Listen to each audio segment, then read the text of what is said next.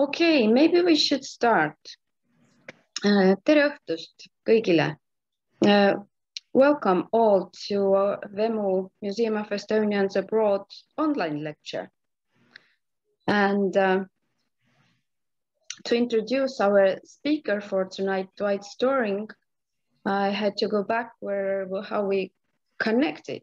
So Dwight sent me an email sometime in June, I, I think, and um, asking me as an archivist at Vemu if I could help him with some information, contacts for the film he's working on. And the film is Anna Kaljas, The Untold Story. Then we had a little back and forth communications. We met at the very end of August at Tartu College, which is home for Vemu. And I gave a tour and showed around in the archives, and then we talked more. And then also we came to the idea that uh, it would be actually good to have this uh, public talk for, especially for Estonian community, to inform people what Dwight is working on, and there might be people who could help with information. Um, which they have because Estonian community is quite small here in Canada. And here we are today, ready for a, interesting lecture. I'm sure it will be very interesting because everything I've heard so far is very, very exciting um, already. And uh, to introduce Dwight to Estonians who probably doesn't know him yet, uh, I checked his uh, very neat and interesting web page and uh, how he starts uh, uh, introducing himself. It was very intriguing. He says that uh, he was 15 years that um, no no six. he, he discovered how the images can move people when he was 12 years old. And there was an interesting story to that. So maybe Dwight uh, would tell the story himself. I don't know if he, he planned to do that, but you are very welcome to explain what does it mean. But what he has done, he worked 15 years as a photo photojournalist and photo editor at the daily newspaper in Waterloo region, The Record. Uh, then moved to the uh, onto the web as he says. And he has been really doing very, very different things, information, information architect, designer, developer, creative director, and so forth and so on. After leaving the newspaper, he was an internet operations manager for City Media Group, a division for Torstar Group. And then he moved to the Center for International Governance Innovation, where he was director of special projects, supporting CIGI's research and programs through the use of online technology.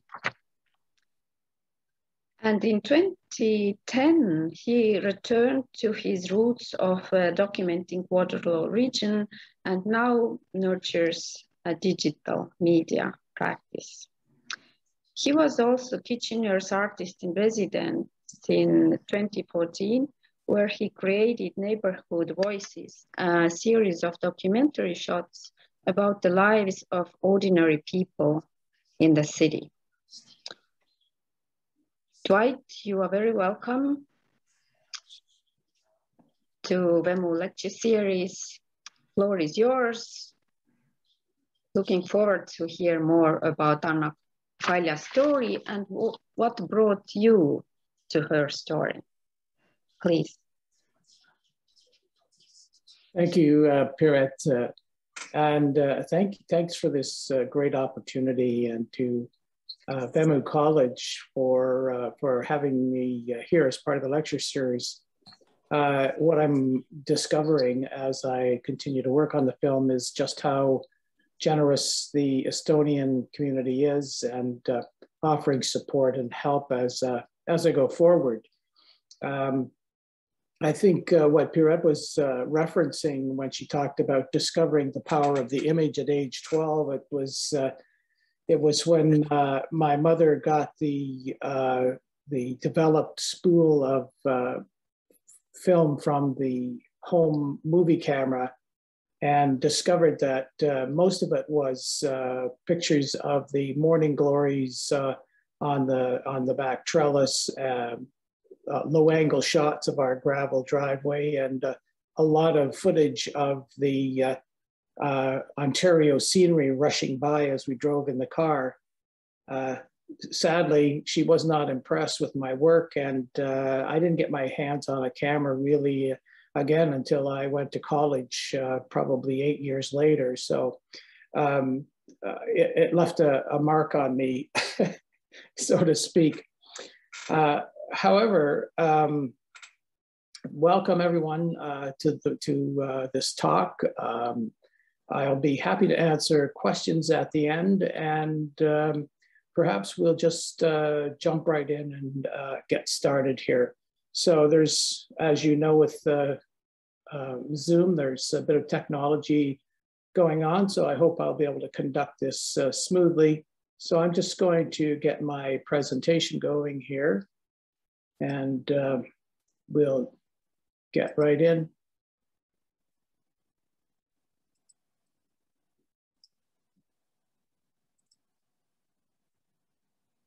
Okay, so I hope you can uh, see uh, the yes. screen. Everything going fine? Yep, we can see. Good. Uh, so um, Anna Kaljas, the untold story. Uh, I think um, unlike Anna Kaljas, uh, who wrote in her memoir about arriving in Kitchener, she said, it was a long way from Pärnu to Kitchener, but our exodus was finally over and we were home. Well, when I first arrived in Kitchener as a young photojournalist in 1979, uh, I planned to stay five years and then moved on. Well, here I am uh, some 40 years later, so deeply embedded in the place that uh, I'm spending much of my time uh, making documentary films about the lives of people who live here. And uh, that's because uh, it's my belief that uh, telling the, the extraordinary stories of ordinary people like Anna, those with whom we share a, a, little piece of the world, creates a thread between where we've come from and where we're going to. And with that thread, we are weaving uh, the fabric of community life uh, a fabric that uh, grows wider and stronger with each story and with each telling. And uh, I think uh, as we think about those stories, they really span place and time. So it's, it's like a continuum. So I call it a place-time continuum, a, a little play on the space-time continuum.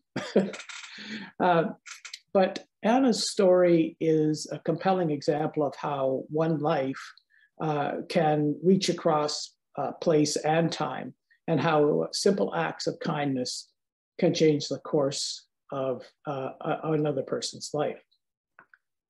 So, uh, so who uh, who was uh, Anna Kaljas? Well, uh, Anna is uh, or was uh, an Estonian refugee.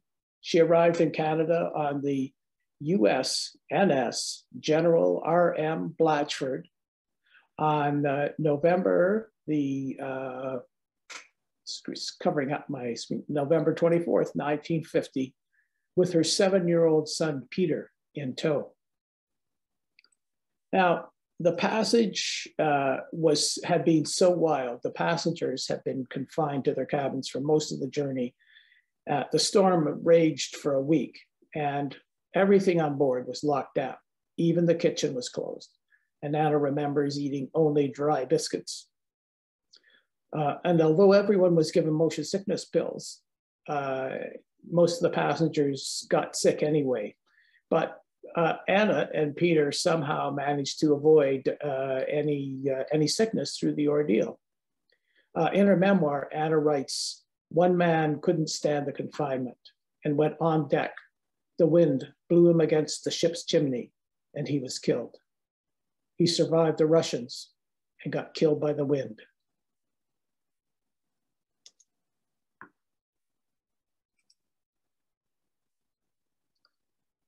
So after Anna set foot in Canada, she never looked back, it seemed. All of her, her energies were focused on starting a new life. Uh, within a few hours of arriving at Pier 21, uh, she and Peter boarded a train for Kerrobert, Saskatchewan. So it's right on the border between Alberta and Saskatchewan. So, uh, and, and a very tiny place uh, to this day. Uh, Anna had a contract as a domestic worker there. Another storm was raging as they made their way across the country. And in fact, by the time they reached Winnipeg, the snow was so heavy, the tracks were impass impassable. And it took three days to, to dig them out. Uh, underway again, the storm raged on. And after an exhausting journey, Annie, Anna arrived in uh, Kerrobert, Saskatchewan, December 1st, 1950, only to find a sad little family eking out an existence on a decrepit farm. No electricity, no running water. The toilet was a bucket in the cellar. A wood stove in the kitchen was the only source of heat. Anna and Peter shared a bed in a tiny room off the kitchen once again, in her diary, in her uh, memoir, she writes, for our first night in Saskatchewan, we had a strange concert. The storm door that was hanging by one hinge banged against the house.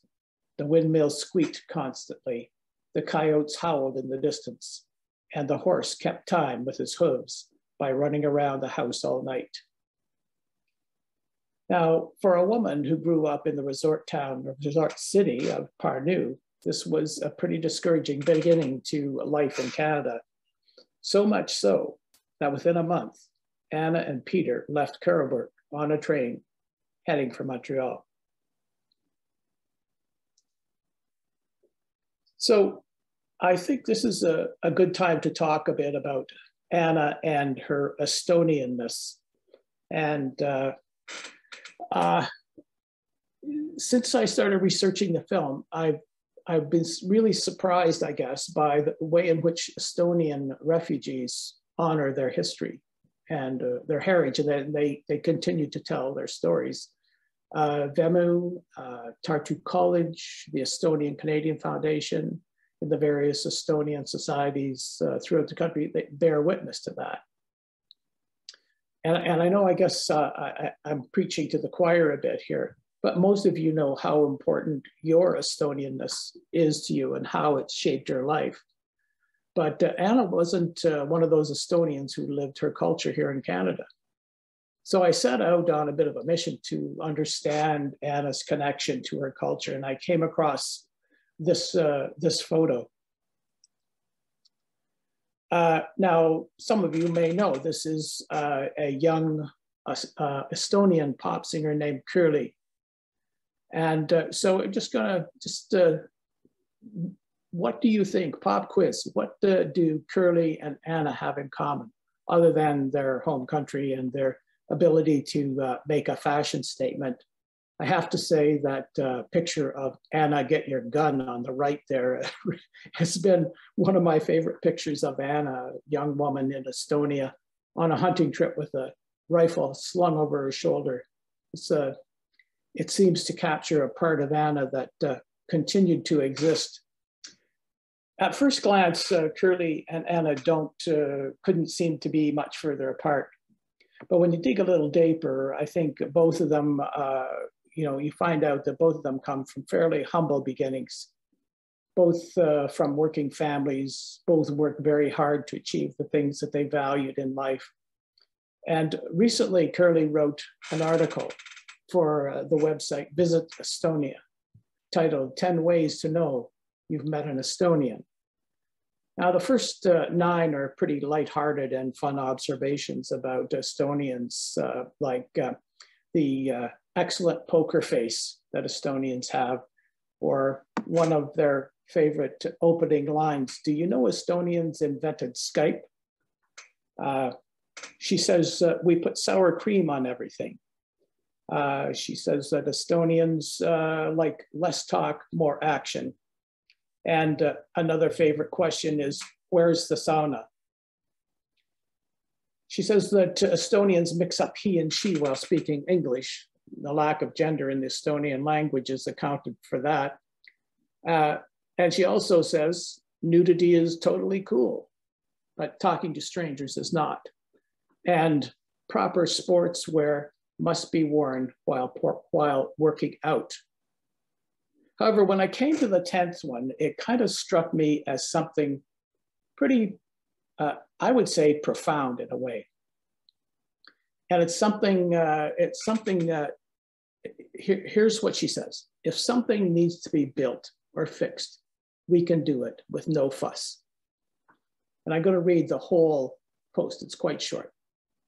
Here's where I give credit to my people. As Estonians can handle any situation with hardly any drama. If a house needs to be built, we build it. If something breaks, we fix it. If, if we have nothing to eat, we grow it. I think it's because of all the occupations and hardships that the country has been through.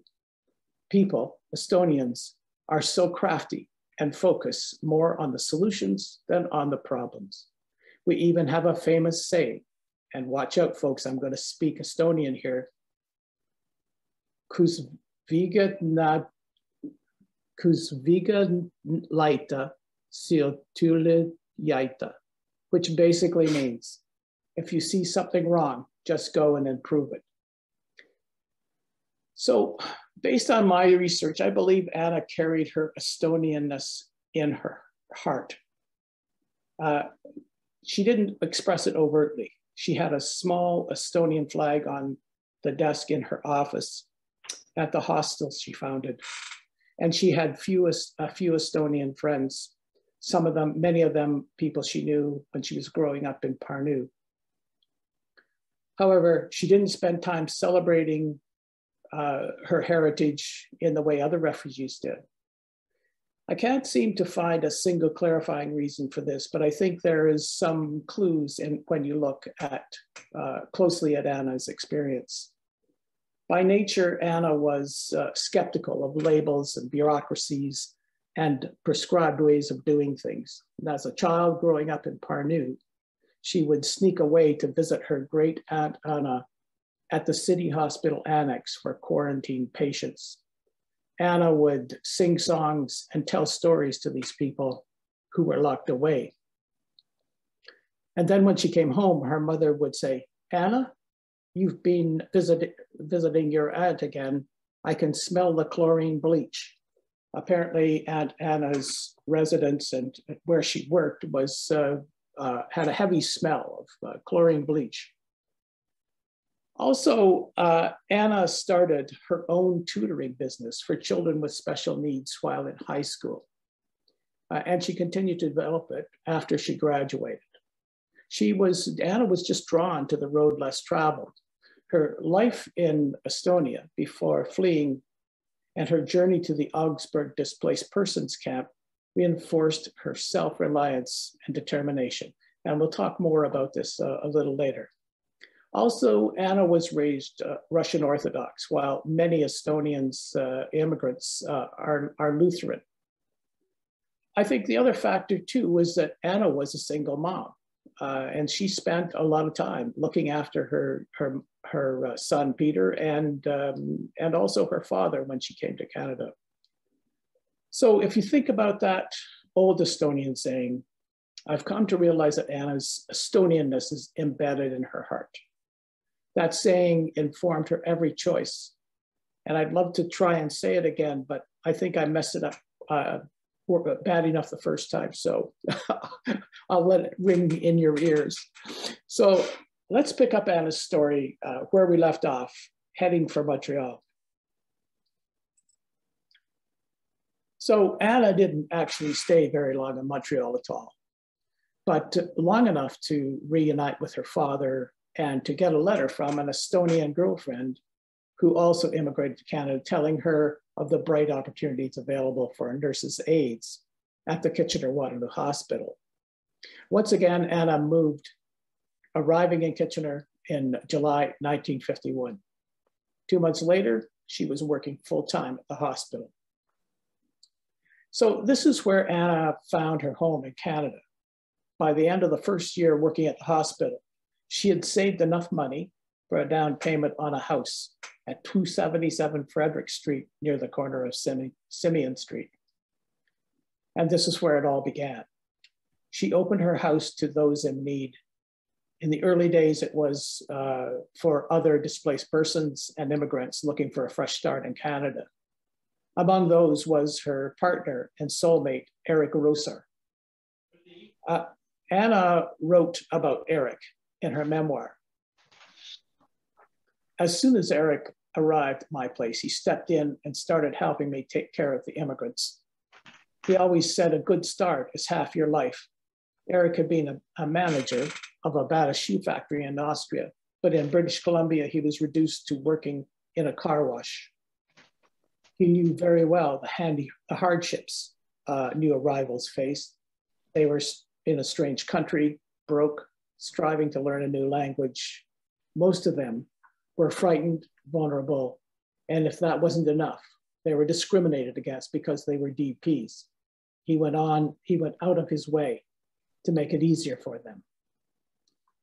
Soon, Anna expanded her holdings at the corner of Frederick and Simeon, buying 275 and 271. Plus, she bought number eight and number 12 Simeon Street. When the Ontario government started deinstitutionalizing psychiatric care and discharged patients back into the community, Anna saw a huge gap in care. Housing and services simply didn't meet their needs. So she opened her homes to them, offering not only a shelter, but food and a caring uh, and a, a calming presence.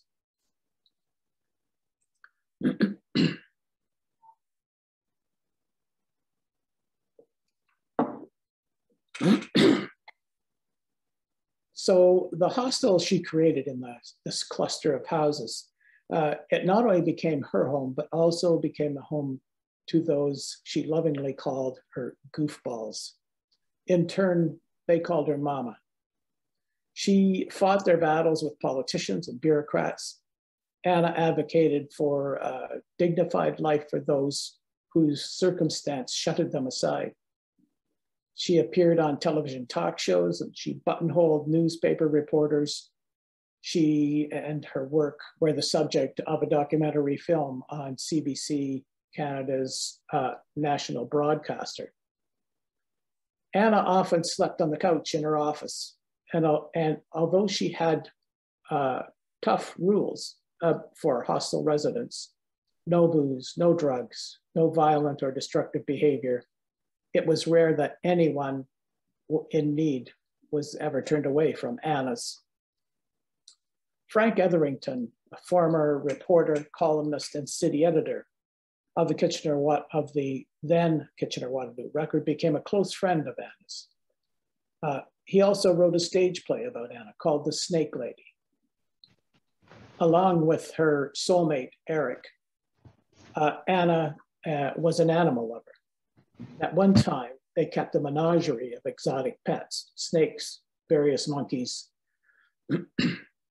During that time, Anna became known as the Snake Lady because school children would take field trips to the hostel to hear about how she cared for the snakes, especially Annabelle, a 16 foot long, 50 pound albino anaconda. Most of these animals uh, were what we would call today rescues creatures that no one wanted or tolerated. Anna and Eric would take them in, feed them, take care of them, love them. There always seemed to be room in Anna's heart for one more.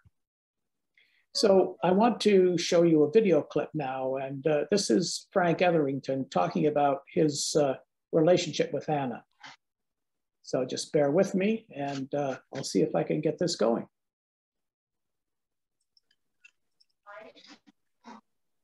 I just got,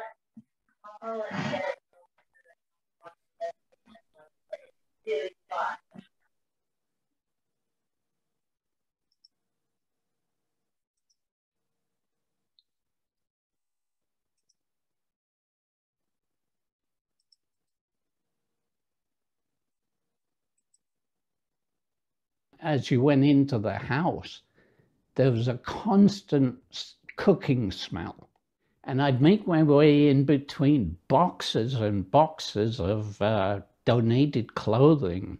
All kinds of people would donate stuff to Anna. And so it was always this kind of cluttered area that you made your way through until I got into her office and then she'd make sure I was comfortable. We'd sit down and talk about uh, whatever the occasion was. And it was usually a complaint about what she summed up as the bureaucrats. She they were constantly harassing her. I don't think they were, but they were constantly not giving her what she wanted. So, so there's a wide selection of people living there.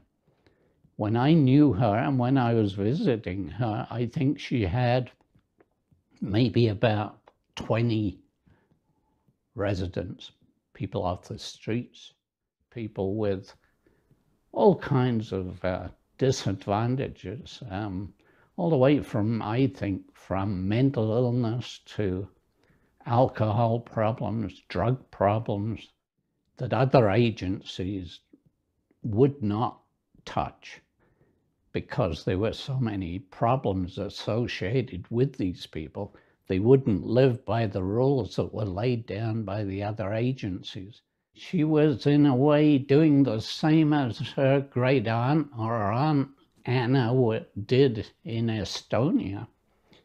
And that was worked with disadvantaged people. Um, and constantly she would see something that was, in her opinion, the right thing to do. And often she'd run into bureaucrats who would insist that no, there's these rules, these regulations, and she had no time for those rules and regulations. So she had a problem with people who would interfere with what she could see needed to be done. She just couldn't tolerate it. She was constantly arguing with them and insisting she was right. And turning to the media or the record in that case, to establish the unfair situation that she was she was anxious about and worrying about. To describe Anna is uh, not an easy task. She would physically, she was about maybe five feet, a bit shorter and uh, she was a barrel of energy. She was always laughing, so she was, she had these sparkling eyes. She constantly referred to me as my son, my son Frank, she would say. She wanted me to call her Mama Anna every time she phoned me in the newsroom, which was frequently with the number of stories that I did, the phone would ring and I'd pick it up. I'd know it was her and I'd have to hold the phone away. Frank, how are you doing? And then she'd tell me whatever she was calling about or whatever she wanted a story written about. And it would go from there. So she was, uh, she was a real character my friendship with Anna lasted about 30 years, I guess. The role she played in my life involved one of the worst periods of my life as my marriage was breaking up. Uh, my kids disappeared out of the city. They were taken out of the city to Winnipeg. And I was devastated. And she was one of the people who recognized what was happening, she was often two steps ahead of me, and I never figured out how she got her information, but she sure got the information about what was happening. And so she provided support and uh, a lot of caring and a lot of talking. I talked often with her about what was happening, some of the worst parts of what was happening. And she was a terrific support through all of that. And she kept telling me that you'll get through this. You will, you, no matter how bad you feel right now. And God knows I felt terrible. She said, You'll come through it. And I did come through it.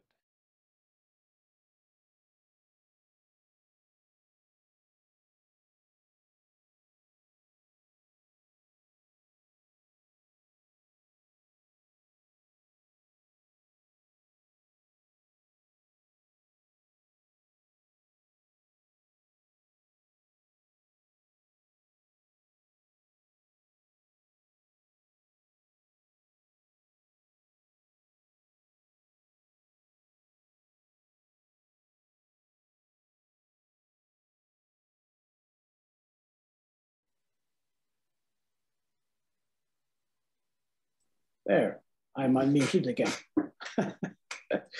so let's uh, go back to our presentation here.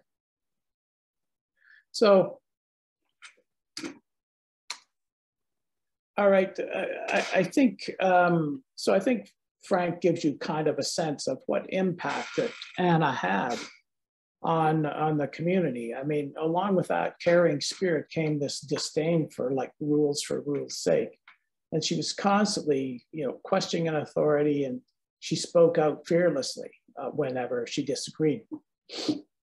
I think the other thing that's important about Anna is she was an innovative problem solver. She would attack a problem from many different angles, and she was unwilling to give up until she found a solution. Uh, she was uh, a dedicated wife, a mother, grandmother, great grandmother, on top of all of those uh, other roles she played in the community. And she loved to gather her family around her and her friends around her, especially at Christmas time. However, Anna was never shy about uh, being recognized by service clubs, community organizations, politicians, or the media for her work.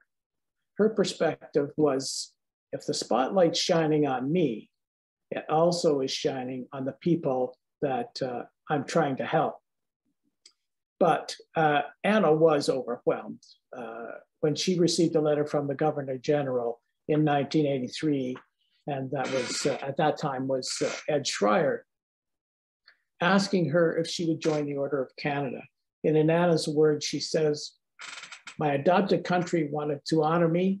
Of course, my answer is yes. Even at the ceremony, though, Anna was uh, remained unpretentious. She wore a 25 year old velvet skirt, a secondhand shawl, and her hair was perhaps a little more neatly pinned up in her signature bun. Anna died in May 2010 at the age of 98. And all this story is truly worth telling. But the thing is about Anna, there is more. There is much, much more. And that's the untold part of Anna's story. And that's the, the uh, although this part that I've been talking about will form the heart of my, uh, my film, this other story, this untold story, will be an important piece as well. Most of you uh, know, I'm sure, the, Eston the Estonians' turbulent uh, uh, history as uh, war unfolded in Europe in 1939. Well, that was 26 year old Anna Kaljas reality too. First, the Russian occupation, and followed by the German occupation, followed by the German retreat and the return of the Russians.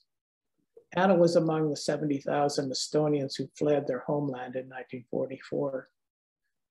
Anna, her mother and father, connected with some acquaintances who'd gotten their hands on an abandoned car and several cans of petrol.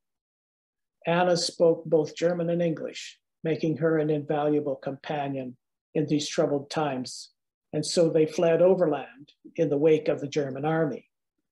Latvia, Lithuania, Poland, the journey was relatively easy until they got to Germany. Again, from Anna's memoir. There were thousands of people on the road, Ukrainians, Poles, Latvians, all walking towards the west. People were exhausted, but the will to live pushed them on.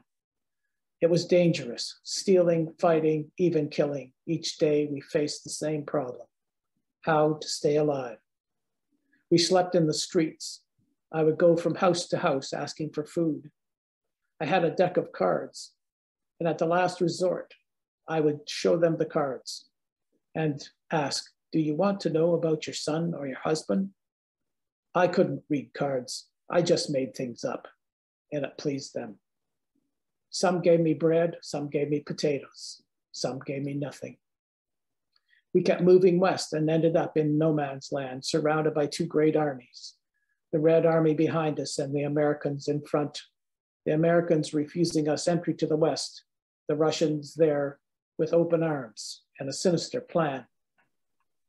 Then we heard on the midnight radio news from Voice of Europe that the Russians would occupy the whole eastern part of Germany.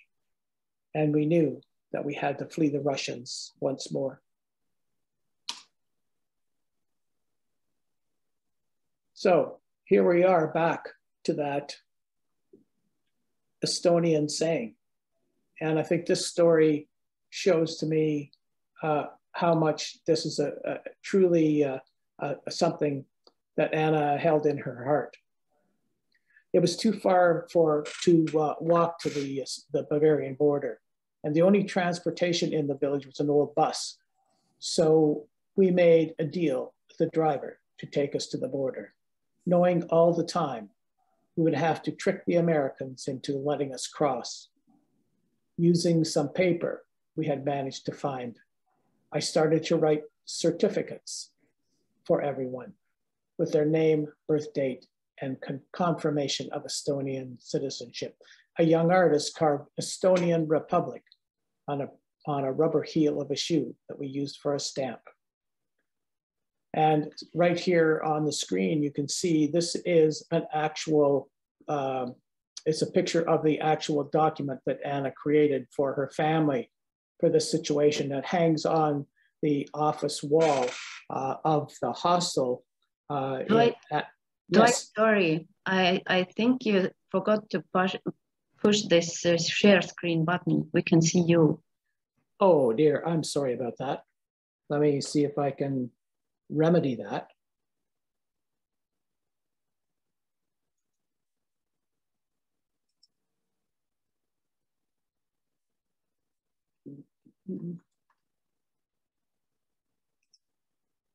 Oh, yeah, I probably did.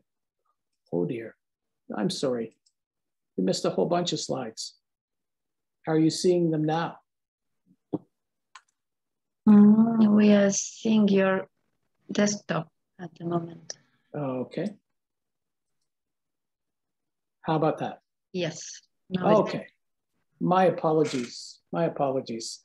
Uh, the other pictures that you missed are pretty insignificant compared to this one because this is a, a picture of the actual uh, certificate that Anna and her uh, fellow refugees created uh, when they were uh, on this, this bus trip to, to try and uh, get uh, to the American occupied zone in Germany.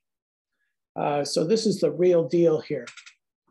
Uh, so using uh, the paper we managed to find, and in more detail in her memoir, Anna says that uh, they they got this paper from an American GI that uh, one of the women, young women in the group, had talked up, and he she told him he want she wanted to write a letter home to her mother, and she didn't have any paper, so she managed to get this this paper to use.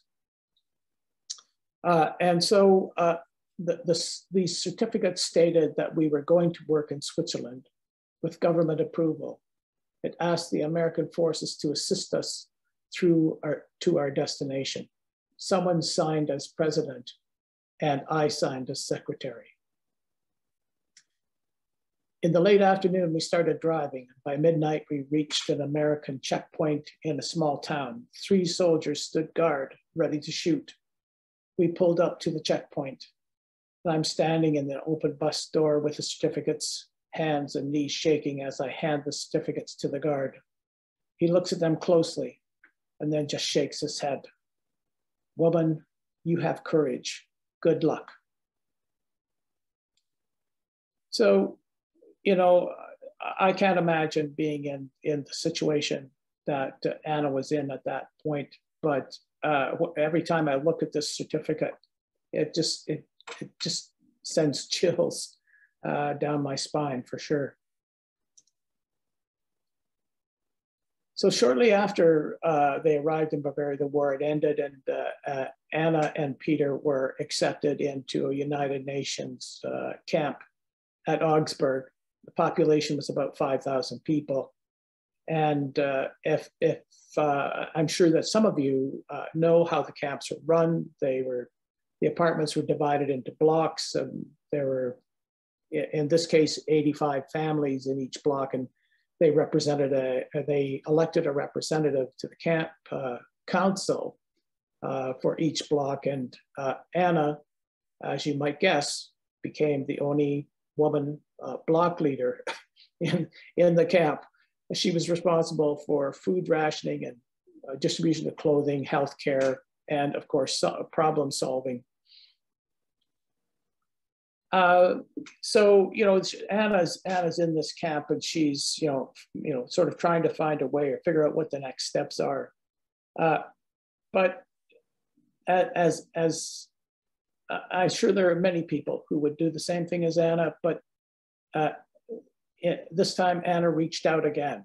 So in 1945, a 16-year-old Estonian boy came to the camp, and he was alone. His father had died of a heart attack Anna happened to have an extra bed in her room, uh, and she said it was sort of a perk that she got for for being uh, one of the block leaders. Uh, so they had an extra bed, a fourth bed, because there was her mom and her dad, and uh, and her. So they she offered this uh, this space uh, in the flat to to this young boy. he was uh, as I mentioned, he was 16. And of course, he had not been able to do any schooling uh, since the war started. And so he had missed his high school diploma. And so Anna, being, uh, being who she is, she said to him, you know, it's really important for you to, to keep up your studies and get that diploma. It's, uh, you know, and if you want to immigrate to North America, you really have to learn English. And so Anna offered, and he accepted to let her uh, tutor him in English and in his high school subjects. Anna says he was a good student and a fast learner, and he became uh, obviously like a member of uh, their family. So the tutoring lasted until 1948 uh, when the camp closed and the Kaljas family decided to immigrate to Sweden. And of course, you know, when you spend three years with someone uh, and uh, and experience so much of this together, it's really hard to say goodbye. And of course, Anna thought she would never see this boy again. Excuse me. But uh, here's here's where the interesting part comes in, and this is the the part that I think um, uh, illustrates to me my earlier uh, thoughts about how stories, uh, our stories, and telling our stories reach uh, across time and uh, and reach across uh, distances and sort of bind us together. That young boy, that that boy that she met at the camp and helped, his name was Yuri Täht, and many of you, I I believe, probably know who Yuri is one way or another.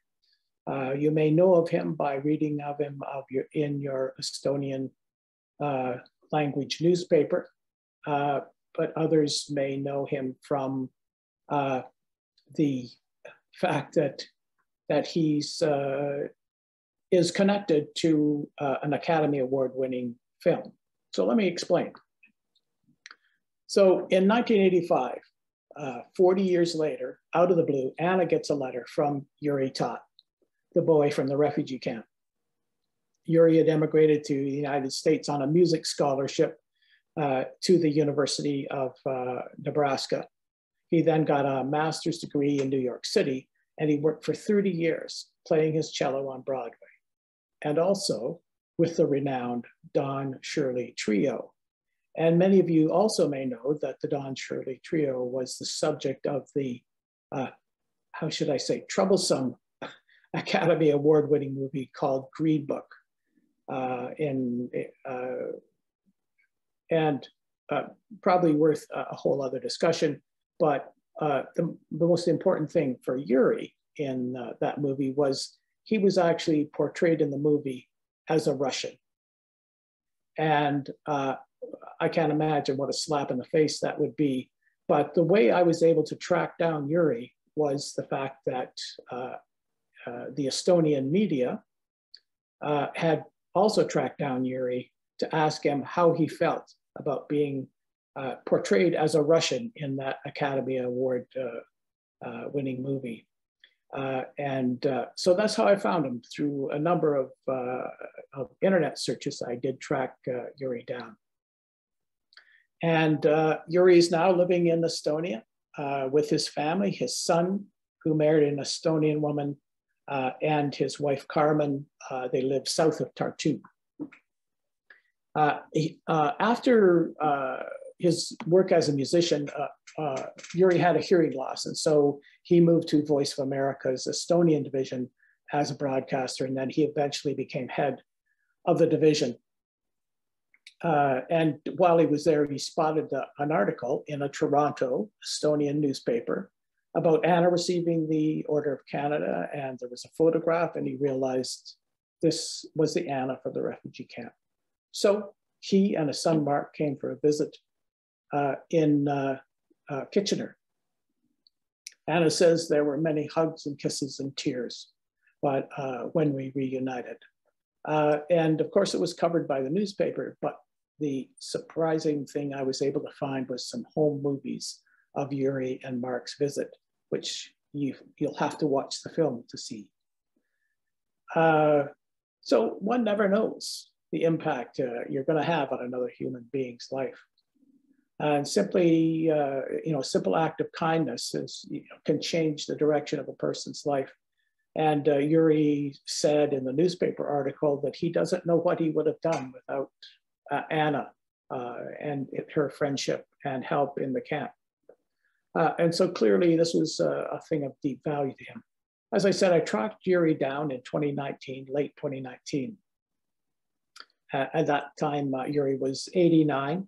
Uh, uh, he turned 90 in May.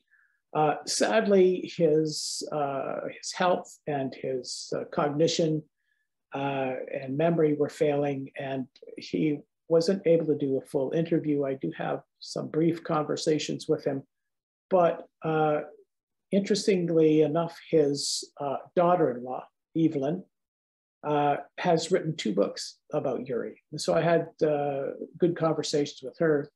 And uh, with the help of uh, Patricia Go, a filmmaker and photographer living in Tartu, uh, and also with the help of Skype, I was able to conduct interviews with some of the members of, uh, of the Täht family.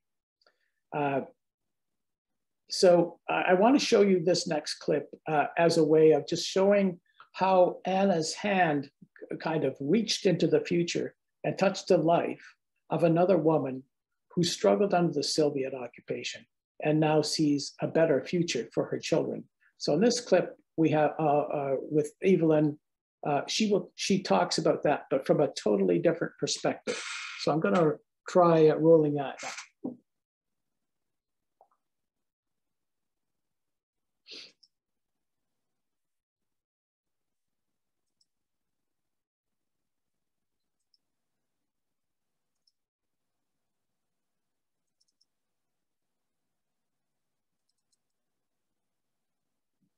Okay, are you folks seeing that?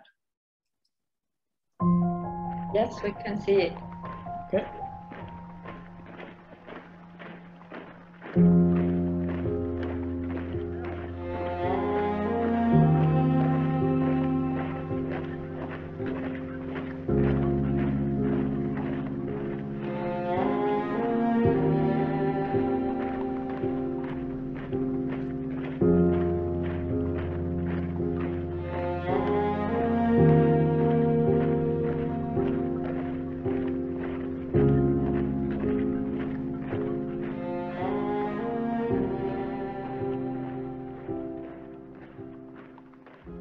I definitely knew about all those things because um, my um, mother's side of the family, my uh, great aunt worked at, as a servant. She talked all the time how um, how they escaped to the woods when they came for them, and um, father grew up uh, knowing nothing about it because my grandfather was an accountist and um, they um, I probably framed him because um, uh, he was uh, fighting against the Russians. He was um, sent to prison camp for four years to somewhere Siberia. And when he came back, he had a stamp in his passport. So he was afraid that they uh, sent him back. But officially, uh, they didn't talk about it it was forbidden. Nobody, nobody dared to speak about it. But my family knew. Every family has their own stories. And, um, I was born in the Estonian Soviet uh, Socialist Republic in 1980, the same year the Moscow hosted the Summer Olympics. I was only 10 years old when Estonia gained its independence in 1991. The majority of my childhood I spent uh, outside playing with other children and for the most of the part it wasn't so bad. We didn't know that there could be something different, having no way to compare our lives to anything else. I have three siblings and our six-member family lived in a three-room apartment in a five-story apartment building which uh, was surrounded by other buildings just like ours. I did see life, what it was like for our parents, who were just simple workers in a big factory. My mother struggled to fi find us clothing and put something edible on the table, and my father's love was a bottle. I remember how people in grocery stores stood in lines, and at uh, some point we, have, we even received food stamps. I waited with my mother in line to be able to buy bananas, and how disappointed I was after trying my first one. We didn't know that uh, they're supposed to be yellow not green. We drive to the countryside where our grandparents lived. All four of us packed into the backseat of our old Zhiguli, which our grandfather gave us after he received permission to buy a new Niva. We didn't go there for a holiday, but uh, to participate in farm work. Our grandparents were growing vegetables. They had a cow, chickens and a sheep. We helped and in return I had a supply of potatoes for the entire year, growing up on those, but at least we didn't starve. As depressing as my life was, my grandparents and Yuri, who belonged to the same generation, had to endure so much more.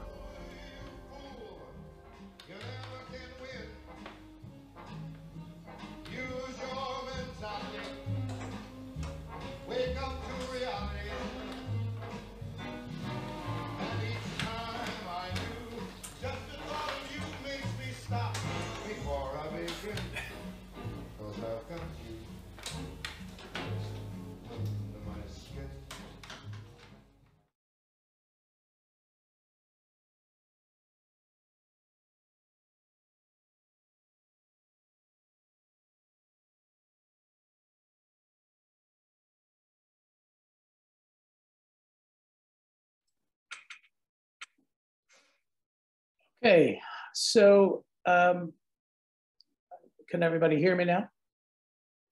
Yes, we can hear you. And we see the screen? Yes, we do. Oh, okay. so I, I, think it's uh, uh, I think it's interesting, like I say, how uh, Anna has sort of taken this uh, on this round trip journey from uh, Estonia in 19, 1939 uh, to Estonia in 19 or in uh, 2020. Uh, uh, and so I, I'm not even sure how all of this is going to fit together in the film. The things that I've shown you tonight are things that, that I've been collecting. So uh, right now I'm in the production process uh, of the film, and that's mainly about gathering material and uh, getting uh, ready to think about editing. Uh, so um, I'm going to close in a moment, uh, but two things. Um, your feedback on, on what you've seen and what you think of it is uh, really important to me to understand, you know, where, help me understand where I'm heading with this.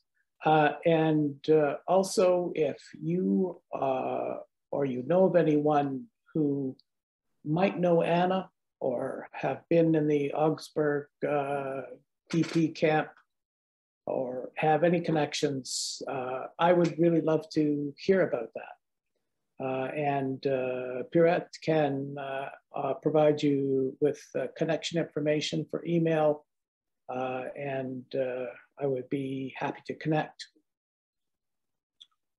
So I want to close just by talking a little bit about generosity and gratitude. And for independent filmmakers like me, this is probably, you know, two of the most important components. Um, first, um, I, am very grateful for the support of the Region of Waterloo Arts Fund. Uh, the Arts Fund is a, a, a, big contributor to the vibrancy of arts and culture sector in Waterloo Region. And it, it does this by promoting and encouraging and providing support for arts organizations, individual artists, and uh, this project received uh, a grant uh, from the, the Arts Fund uh, in the spring of this year. And so they've uh, been a, a, financial contributor to this project. And, uh, and talking with directors there and people there, they're also a, a, a encouraging and, and support the project in, in other ways. So in short, the Waterloo Region Arts Fund makes art happen. And uh, I truly believe that uh, they're a great uh, asset to our community. Uh, I'm equally grateful uh, for the generous generosity of uh, my dear and longtime friends, Frank Etherington and Sue Coulter. their financial contribution, and it was made in the memory of Sue's father, Lindsay Coulter, also another dear friend, uh, seeded this project. They brought it to life, and uh, and I am very grateful for the contribution that they've made to this. I'd also like to say thanks to Mervyn Mothersell, and he was the co-author of A Lifetime of Memory, which is Anna's memoir with Anna. He co-authored the book, and uh, he has uh, made his work uh, freely available uh, in to help create this film. Also like to thank the Kitchener-Waterloo Estonian Society for its ongoing support and encouragement. And also to Kathy and Stuart Must and Harry Must for their generous uh, sharing of their knowledge of the Estonian expatriate community. And uh, fundamentally and fundamental uh, to the making of the Anna film, The Untold Story, is the generosity and hard work of uh, the uh, Anna family, three generations. So in this photo here, you can see this is Anna's great granddaughter, Mia, and uh, my longtime uh, friend and collaborator, Gary Kirkham, working on the set of, uh, of uh, the studio where we were gathering the family, reading excerpts from uh, Anna's memoir. Uh, and we've been working on that for off and on for about a month. And we'll get to see a little bit of that at the end. But uh, the family's contribution to this project has been uh, just tremendous. They just uh, dug deep, help out with family photos and home movies, sitting for interviews, and the reading of the excerpts, uh, as I've mentioned. And um, the, I, this film would just be a, an idea bouncing around in my head if it wasn't for the commitment they've made to the project. So I want to leave you with this one uh, final clip. It's uh, a sketch, I would guess I would say, of what I think uh, the uh, memoir excerpts will conjure up in people's minds. Uh, I think visually they could end up being quite different, but I think the emotional content of this, this excerpt is really one of the things that is uh, the underpinning of, uh, of the film and will make it uh, something other than uh, uh talking heads. So uh, let me get that going for you.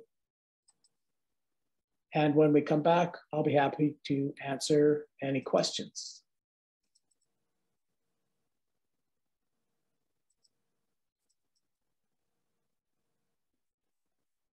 Hmm.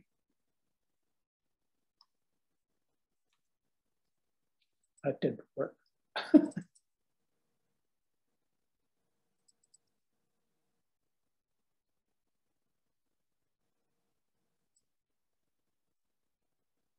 try it again.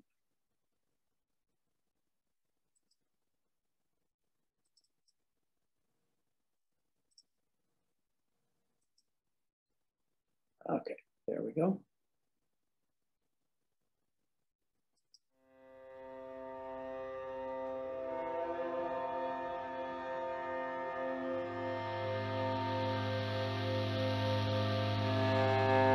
On September 1st, 1939, Germany invaded Western Poland and the Second World War began.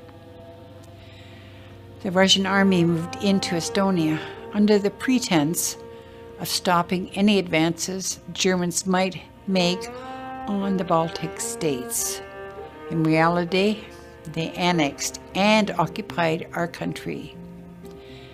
Everyday life deteriorated into chaos. The Soviets arrested people they thought were dangerous judges, lawyers, engineers, politicians, and of course, teachers.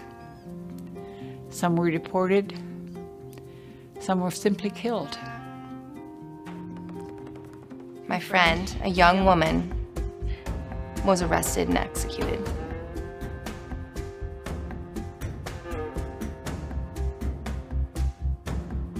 All these killings and deportations destroyed the economy.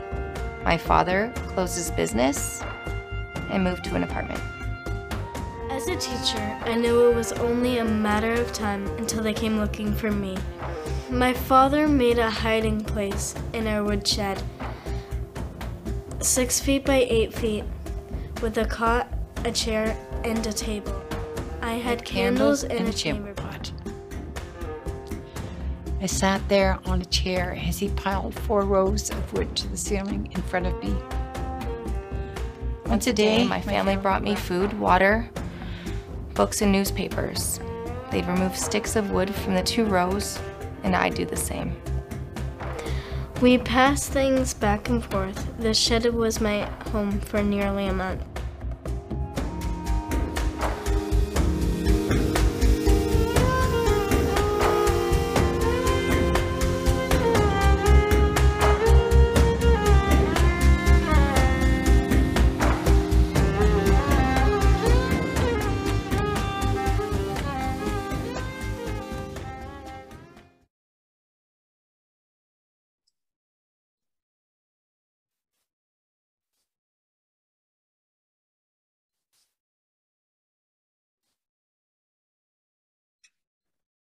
And uh, I'm back, ready to answer any questions. Thank you so much, Dwight. It was really very interesting talk and very powerful end to the talk. How you put all those different generations of women to tell the Anna story. Very, very powerful indeed. So everyone in the audience, you can open your mics and cameras now so that maybe we can also see who else is here. And uh, please ask your questions of or do any of us knew Anna personally?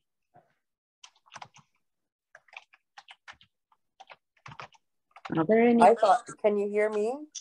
Yes, we can hear you, Krista. Oh, I just wanted to say I thought it was excellent. I could have sat here all night and watched this movie.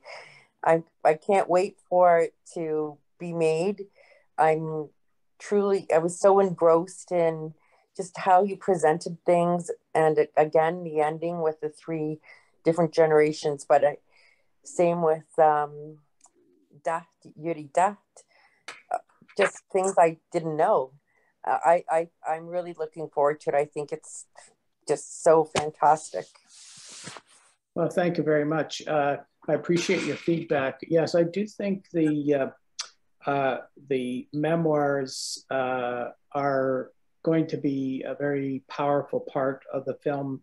And my intention with the memoirs uh, was really to create a sort of a sense of uh, a for lack of a better description, a Greek chorus. So uh, a way to guide people through the film, tell Anna's story, uh, and then supplement that with uh, with interviews with people, uh, experts, friends, and those kinds of things. The big surprise, I think, for me, while doing that, was uh, I started out uh, with only Maggie and Stephanie uh, doing the uh, doing the readings, which was I would be happy with. I would have accepted that. But then uh, Stephanie's youngest daughter, the girl you saw in that piece, she's nine years old. She said to her mother, I want to come and be part of this because her older sister had refused to be part of it. Uh, and she said, I want to come and be part of it. And so she came uh, on uh, one of the days of the uh, recording, and I was thinking, "Oh my goodness," you know. But but thanks to her her stamina and her uh, ability to work with this material, and and also I have to give her mom and the drama coach Gary Kirkham got a lot of credit. They were able to guide her through this process. And she did just amazing things. And then when I started to see it all together, uh, like I, I realized how powerful it was. And obviously, Stephanie's other children realized how powerful it was because the next recording session, the other two came. And now they're recording parts of the excerpts. Uh, so I'm really excited about about how this is going to uh, unfold. I think it's a really unique approach to documentary and it will give the documentary a kind of uh, a, a, shape that uh, that you know you don't often see. I'd like to say that um, I would have liked to hear more about her uh, connection with uh, Kitchener uh, Waterloo. You know what she did there, because some time ago I read um, oh, a long time ago, about a woman in a soup kitchen, an Estonian woman who put pickles in her soup, like my mother did. And maybe it was Anna. well, uh, it's like a Solyanka uh, kind of. to, to be honest with you, uh, I, I'm holding back a little bit on all of the details uh, that that I have and all the material that I have, uh, just partly because it's early days and uh, I'm still gathering information, but uh, there's plenty more to come about Anna's work uh, here in Kitchener. I've talked to many, many people and are still talk, I'm still talking to people uh, about, about her work. I uh, understand that your your audience here is the Estonian community, but the Kitchener community would really love to hear this. Yes, I'm I'm Kitchener community. Yeah, and my sister was was listening to Ruth. She had to go. Actually, I have to go soon too because we have another Zoom meeting. But I am Kitchener, and I wish my mother is in a nursing home, and I I have asked her, and she just you know like just just that memory is not there. But I know that I have. My mom is ninety five, and so I know that I have heard Anna Kaljas's name before mm-hmm. somewhere in my past, maybe when I was in my teenage years, because my mother had a very good friend that lived on Frederick Street. So there had to have been something, but I just can't get to it. But I'm going to keep trying. but okay. it's, but it is very, but I know I've heard of her before. And there's probably other Estonians that we don't know that live here in this area. So, you know, it's not, I, I think, I think it's just wonderful. I, it's just a wonderful story. And I'm sad that I didn't know. It makes me sad that I didn't know about her. Uh, you know? Well, and, and I think uh, really uh, that's one of the reasons why I did want to do the uh, the film is uh, because her, her memory and her work has um, is kind of fading from our collective memory. And uh, part something I didn't mention in this presentation, and perhaps should have, is that the other thing that's happening is the Kaljas family have decided to close the shelter and move on. Uh, they've sold the properties, and the shelters, the hostel's closing down uh, in January. Uh, and so this is this is the end of Anna's legacy. Uh, I think uh, Peter is uh, her son is 74 and Anna or and Maggie is 71. and there have been huge changes in the the needs of people uh, in the community in since the opioid crisis and the kind of housing that they are offering uh, at the Kaljas Homeless just is not compatible with the kind of people that the region is asking them to take care of. And so it, it's a sad thing in a way, and that's also going to be part of the film is a, a, a kind of a small sidebar about uh, about the, the situation and the closing of the hostel and how that whole uh, environment has changed in the past probably 10 years. Uh, and uh, and uh, so, uh, you know, I think that's those are good reasons to really talk about right. yeah. what's, you know, what Anna did, because I think Anna started something that evolved into uh, a caring community, but we're back to a situation where we almost need another Anna to have the kind of vision she had about what it meant to, to care for these uh, people and what they needed and to have that, um, as one uh, person told me, she had a calming influence on these people. She was able to, to guide them and mother them in a way that almost no one else could.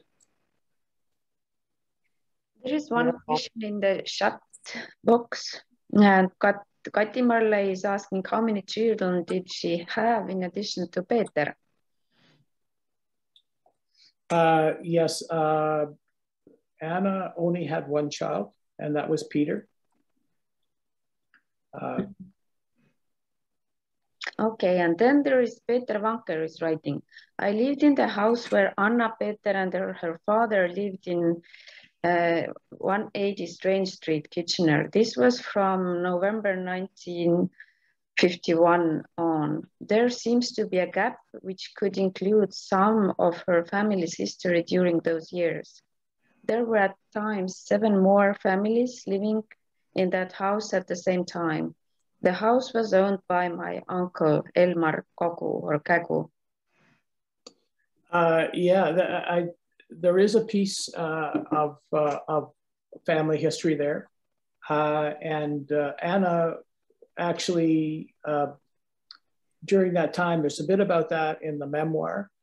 I think the struggle for me is to, to try and tell as much of the story as I can, but also have it come together. But I really appreciate uh, the uh, the reference, Peter. Uh, I think, uh, and uh, I don't know how long these messages last on Zoom. Uh, I have to I have to copy them and save. Otherwise, those would mm -hmm. be yeah. gone. Yeah. So I will copy. There is a comment yeah. from Marta to Peter's uh, comment. Uh, Marta says that that's interesting, Peter Vanker. I wonder whether other Estonian pastors like Tõnis Nõmmik, who studied at the Lutheran seminar, would have known her. Oh, that's a really good point. Very good point.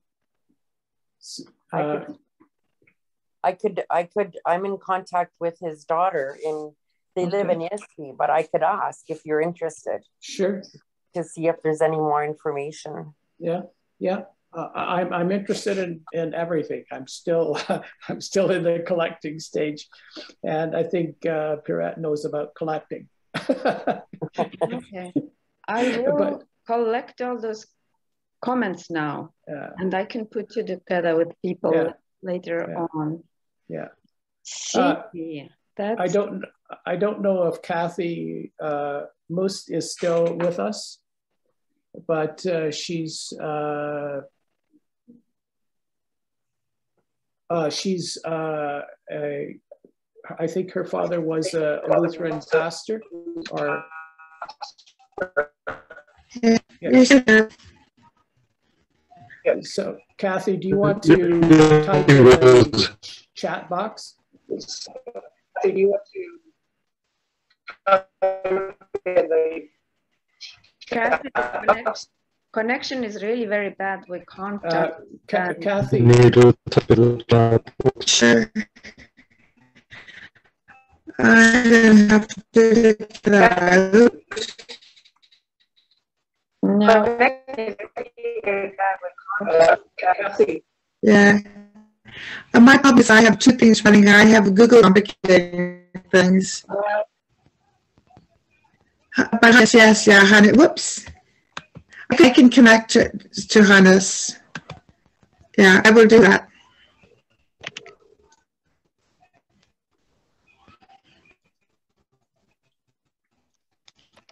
Okay, there is uh, one more comment. I will read it to you. It comes from Marta and Udo Peterson studied there as well. Oh, he's the keys. Wonder whether Hannes asked. Any ciudadanos? It comes from Peterson studied as well. Keys. Wonder whether Hannes asked. We still can't understand anything. Could you please type it in the chat, chat box so we can understand what you're saying? Because we are losing everything. Thank you.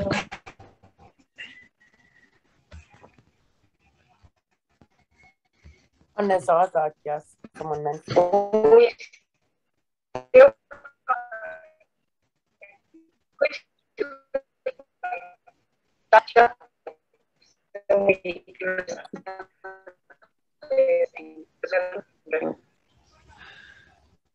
Uh, yeah. Uh, Piret, uh, Kathy has a hearing loss, and that's why she's having trouble with uh, the platform. Okay. Uh, she usually uses Google Meet, which is uh, has a better translation. Okay, I see. Yeah, unfortunately, we can't uh, understand what she's yeah what she's saying. Are there any other questions or comments from the audience?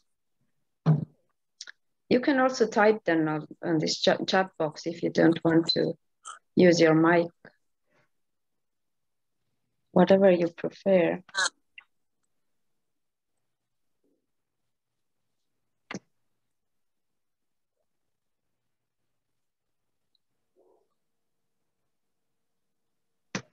I think uh, I think the house on Strange Street was probably uh, one of the first places where Anna lived uh, when she first came to town. She talks about uh, about living near the hospital and uh, living with her dad, and um, they would uh, often go out and work on a farm somewhere in the region, and they would work on the farm in exchange for food that they would.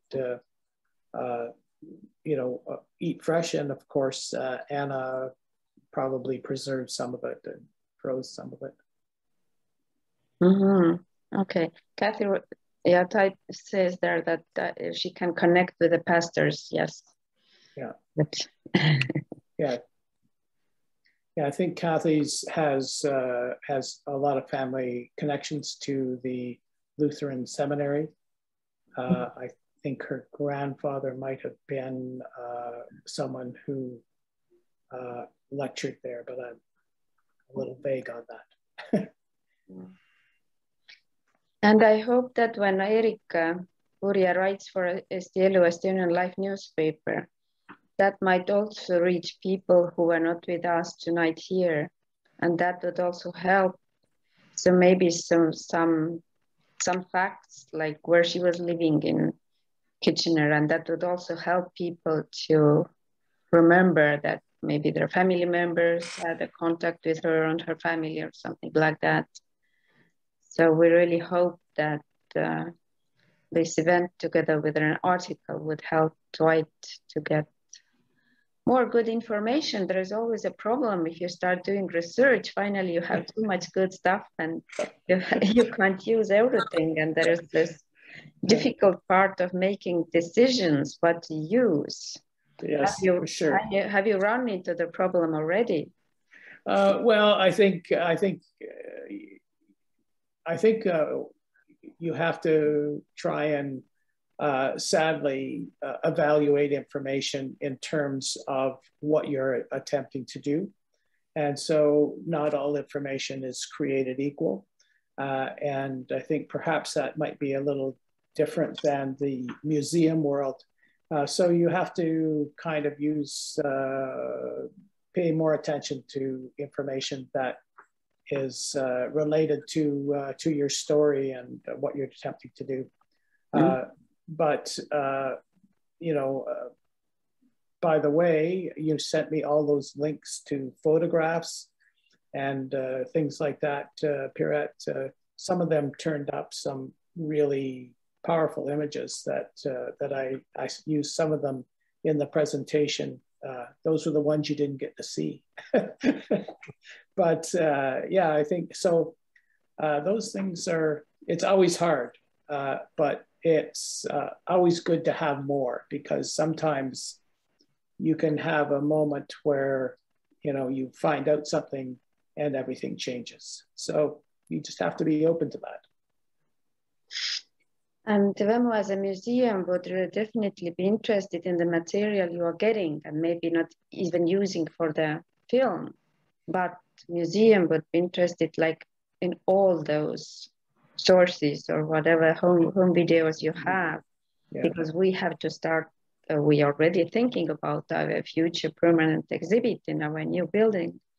And that's where we need all kind of, especially audiovisual materials, or artifacts if like family happens to have anything which was brought along from Estonia.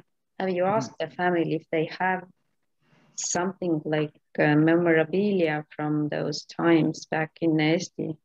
Yeah, yeah. I'm I'm not sure how much they have, but certainly this certificate is something that should be preserved because it, uh, along with the story, because it, it's uh, I was actually stunned to mm-hmm.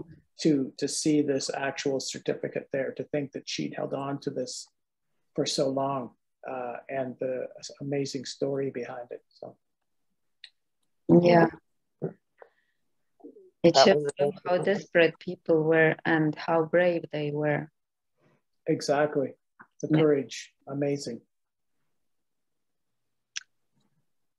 So any other questions or comments or thoughts or thank yous? Always very welcome here now.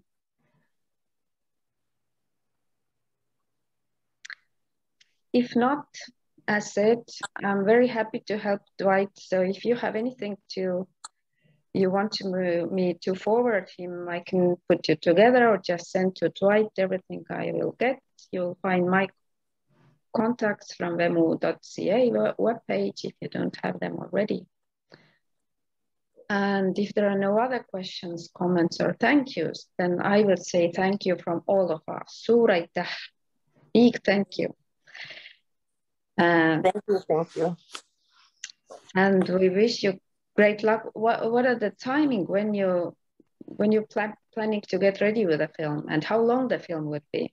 Uh, my plan is to have it premiere sometime next fall. Uh, I'm not sure when that would be, sometime after 1st of August. Uh, and the film will be between uh, 60 and 90 minutes. I would say probably uh, uh, closer to 90 based on what I'm seeing now. Yeah, that might be interesting for our Estonian Documentary Film Festival, ESTDOCS here, which has been vanished for some years by now. Maybe that's a good reason for people to get together again, and that, that would be a great film to share with not just the Estonian community, but uh, yeah. everyone here in Toronto yeah. or Ontario. Yeah, I, I would love, uh, I would love to be part of that for sure. Perhaps a premiere. Mihkel Jürimaa says, thank you very much, Dwight. I had never heard of Hanna. Looking forward to seeing your documentary. It is an amazing story. Thank you. So thank you, everyone. Thank you, Dwight. Good luck with your film and research, and we hope to see you sometime in the future. For sure. Thanks, everyone. Thank you. Good night. Yeah. Good night.